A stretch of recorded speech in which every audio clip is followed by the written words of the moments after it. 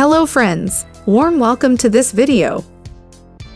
How to fix ChatGPT is at capacity right now. Have you ever encountered the message ChatGPT is at capacity right now while trying to use this amazing AI tool? This can happen during peak usage times or when there's a surge in demand. But fear not, we have a workaround to get you back on track. In this video, we'll show you how to fix this issue and get back to enjoying seamless interactions with ChatGPT. Let's jump right in. Open your web browser. Type chat.openai.com slash auth slash the login in the URL bar and press the Enter key on your keyboard. Click on the Login button. Type your registered email with ChatGPT and click on the Continue button. Enter your ChatGPT password and click on the Continue button.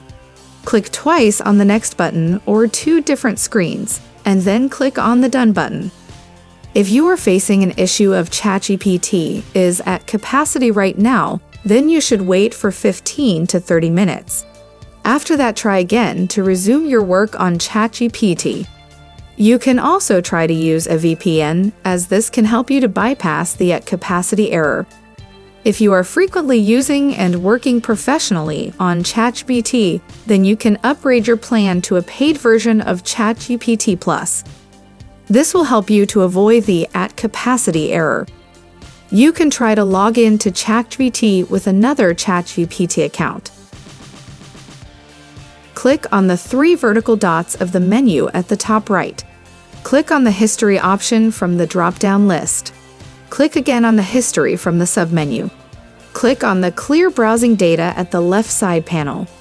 Make sure all the checkboxes are selected and click on the Clear Data. Close all the open tabs except the ChatGPT page and click on the Refresh Page icon to refresh the page. You can also try to log in and use ChatGPT by using incognito mode. Some of these steps can help you to avoid the at capacity error on ChatGPT.